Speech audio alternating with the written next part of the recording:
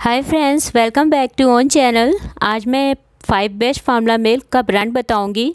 इनमें से कोई भी फार्मूला मिल्क अपने बेबी को दे सकते हैं।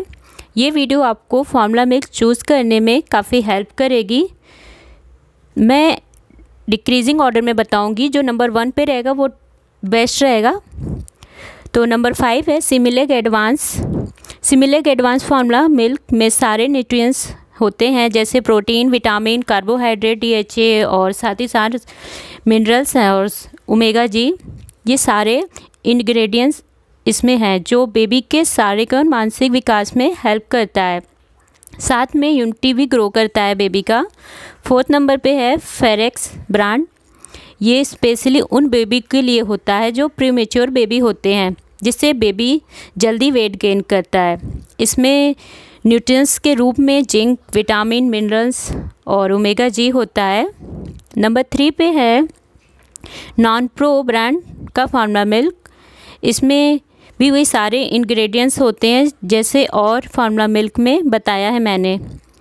इसमें मेन खासियत ये है, जो बेबी को गैस ज़्यादा बनती है तो उन्हें यही प्रेफर कराया जाता है, जिससे बेबी को गैस बनने वाली प्रॉब्लम ज़्यादा फेस ना करना पड़े।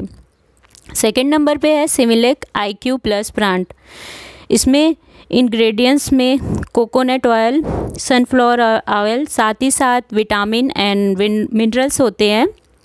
मैं अपने बेबी को स्टार्टिंग में ज़ीरो से सिक्स मंथ तक सिमिलेक आई क्यू प्लस ही दी थी, जिससे बेबी को कोलिक प्रॉब्लम नहीं हुई थी। फ़र्स्ट नंबर पे आता है लेक्टोजन फार्मूला मिल्क इसमें सारे न्यूट्रिशंस होते हैं बेबी के मेंटल और फ़िज़िकल डेवलपमेंट के लिए। इसकी मेन खासियत ये है मोस्टली बेबी ये फार्मूला मिल्क एक्सेप्ट कर पाते हैं। मैंने अपने बेबी को सिमिलिक आईक्यू और लेक्टोजन का फार्मूला मिल्क दिया था।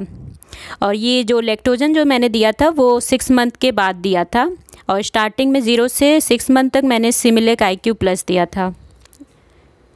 अगर वीडियो अच्छी लगी हो तो चैनल को सब्सक्राइब करना, लाइक करना। Thank you for watching